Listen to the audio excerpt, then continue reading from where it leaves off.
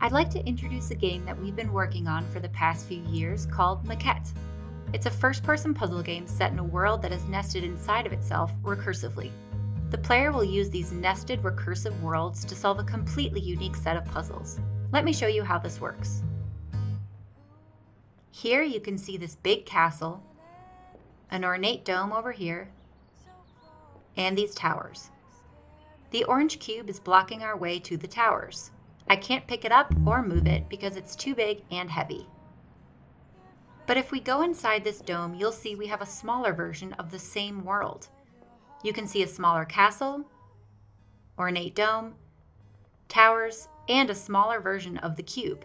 An exact copy of the larger world is nested inside of the small world. Because this cube is much smaller, we can pick it up and move it around. And when we do that, we can see it gets moved in the regular sized world as well. Now that we have moved the large cube out of the way, we can access that area of the game. Anything that we do in the small world is reflected in the regular world around us. There are a lot of exciting implications to this. It's running in real time, so if we drop the cube here, you can actually see the larger version moving in the regular world.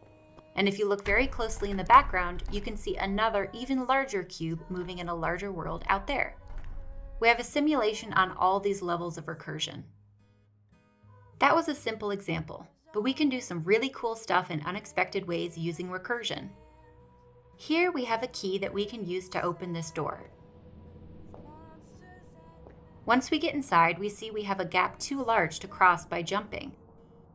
Maquette asks you to think about new ways to use ordinary objects. In this case, the solution is to take this key, which is tiny, and bring it into the maquette. By placing it across the gap, it can be used as a full-sized bridge in the regular-sized world.